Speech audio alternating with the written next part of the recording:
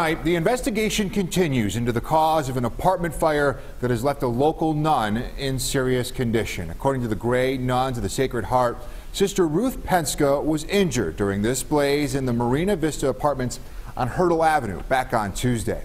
Sister Penska is truly a pillar of the community. She helps those who can't see, read, teaches many at D'Youville College, and also is a published author. The list goes on and on here, and 7 Eyewitness News reporter Ed Riley tells us more.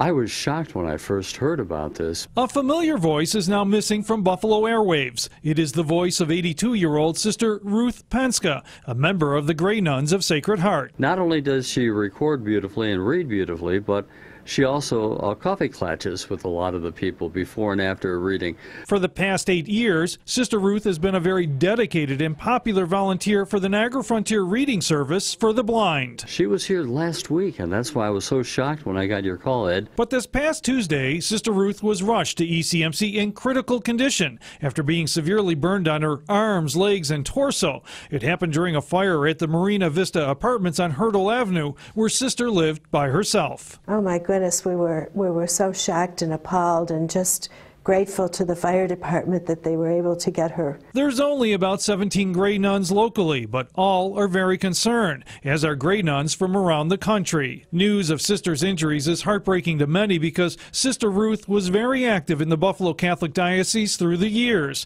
She was the former ECC campus minister, Spanish teacher at D'Youville College, and even when retired, still committed herself to volunteer work. And she's an author.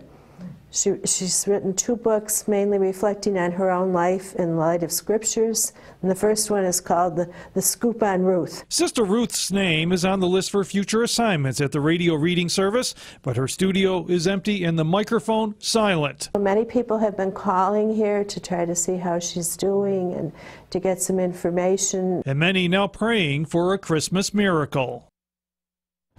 Sister Ruth is in the burn treatment center at the Erie County Medical Center. Now, we were in contact with the hospital this afternoon, and they did have some good news. Sister Ruth's condition has now been upgraded from critical to serious. Live in the newsroom, Ed Riley, 7 Eyewitness News. Thank you very much, Ed. And a